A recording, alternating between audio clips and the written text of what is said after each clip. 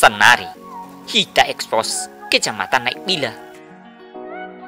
Kecamatan Naik Bila, Ima wilayah Pemekaran, Saipar Dolakole, Sang PSTH pada tanggal 21 Oktober tahun 2002. Saton, Kecamatan Non memiliki 15 desa dengan jumlah penduduk 7.395 jiwa.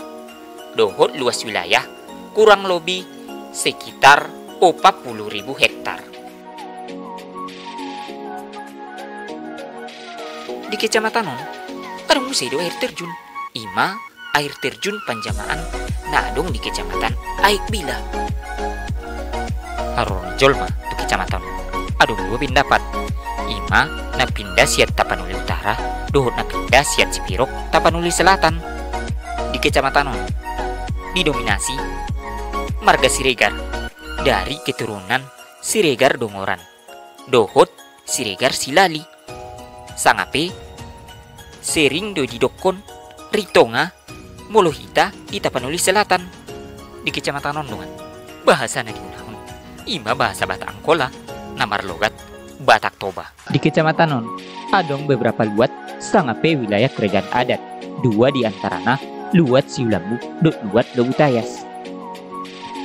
Kalion, kita musim meliput acara masyarakat Air Bila di bulan non. Ima, upa-upa, hagurangan niroha ni masyarakat tubuh Bupati Tapanuli Selatan na baru na terpilih pada tahun 2020 lalu. Ima, Bapak Haji Doli Putra Perlindungan Pasaribu. Acara on bertujuan masyarakat Nardoa doh meyakinkan beliau Aso sukses sebagai pemimpin membangun Tapanuli Selatan khususnya untuk kecamatan Aikbila.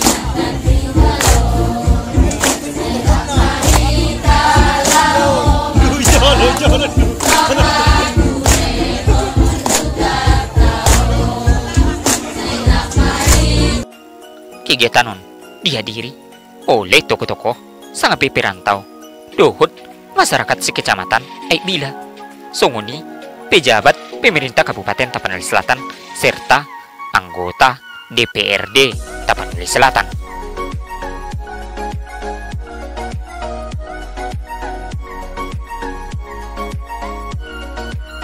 Di kegiatan non, dijunjung tinggi do protokol kesehatan.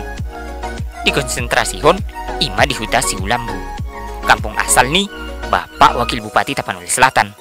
Ima, Bapak Rasid Absar Dongoran, MSI, terkhusus dalam on.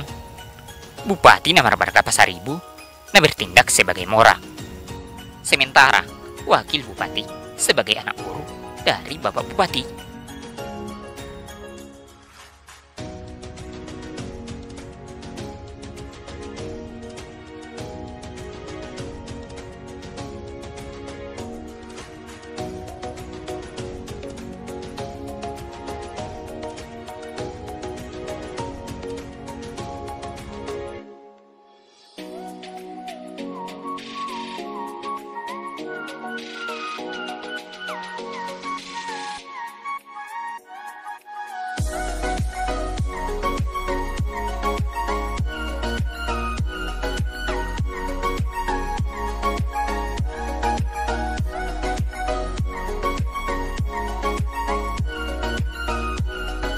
Keluarga besar Siulambu dari pihak wakil bupati adalah bertindak sebagai anak buruh.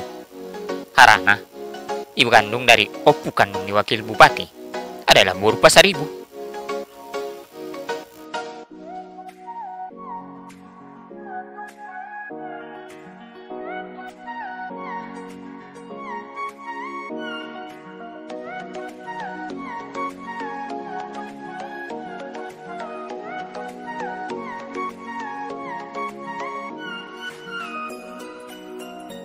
Untuk yang terdekat saya kira ini harus kita selesaikan secepat mungkin.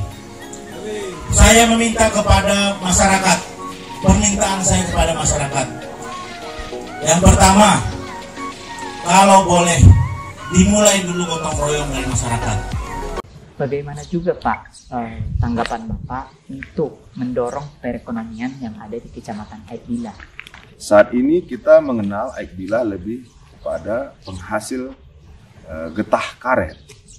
Oleh sebab itu, dalam konteks pribadi saya, saya berharap masyarakat uh, bisa, bisa fokus di perikanan karena sumber daya airnya luar biasa.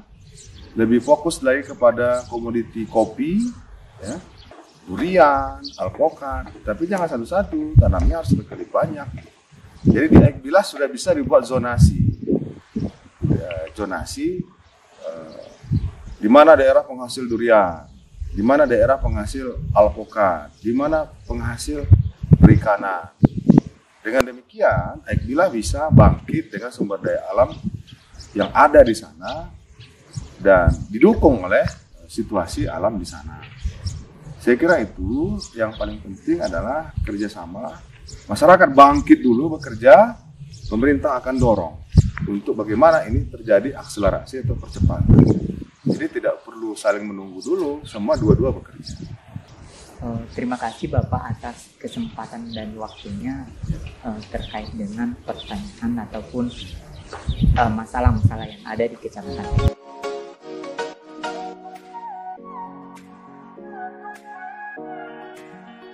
Assalamualaikum warahmatullahi wabarakatuh. Salam sejahtera untuk kita semuanya.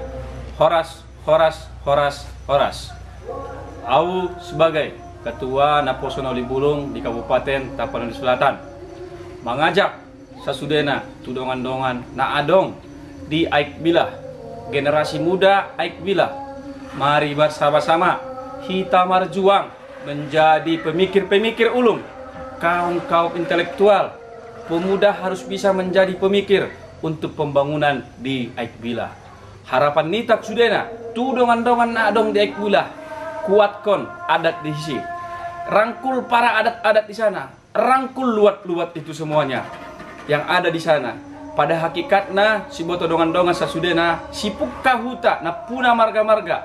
Sude golongan-golongan na poso na libulung na adong di Aikbila berhak atas untuk mengawasi pembangunan na adong di Aikbila perjuangkan Aikbila dengan konsep adat dengan konsep luat. Bersama kita bisa membangun Aikbila lebih maju ke depan